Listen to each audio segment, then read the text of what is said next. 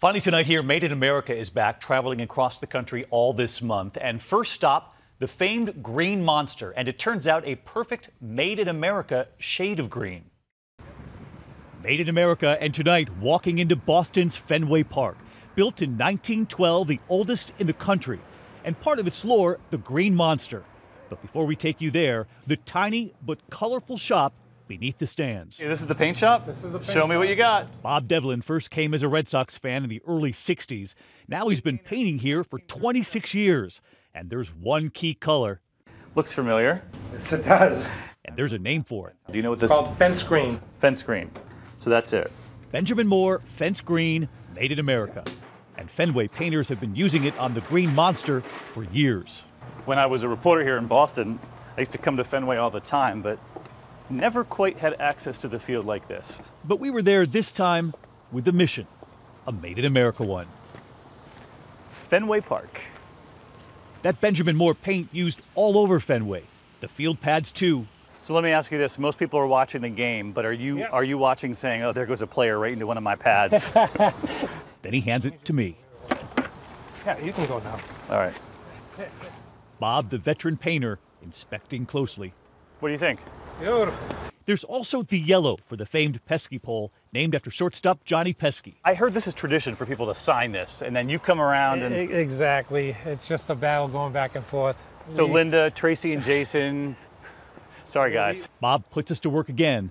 But where do they perfect that yellow? And more importantly, that green? 38 miles away, Milford, Massachusetts. Manufacturing manager Bernie Hilton on the line for 34 years. So there's your green monster. And back at Fenway, getting the job done long before the Red Sox take the field again. And as we approach it, the retired player now helping to train. Pedro. All right, man. Pedro Martinez on our way to the Green Monster. The scoreboard is still done by human beings behind the green monster for them working a game.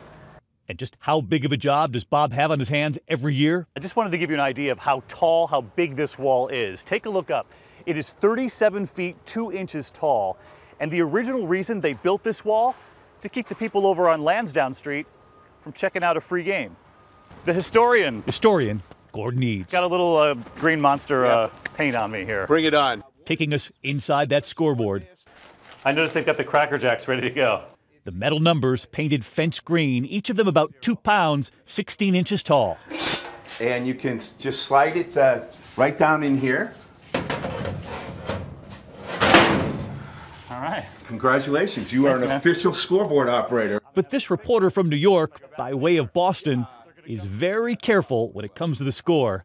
While back at that plant tonight, go Sox and something else. Made in America, Made in America, we love it. And don't you love there are actual human beings behind that scoreboard? Thanks for watching here on a Monday night. I'm David Muir. I hope to see you right back here tomorrow. Good night.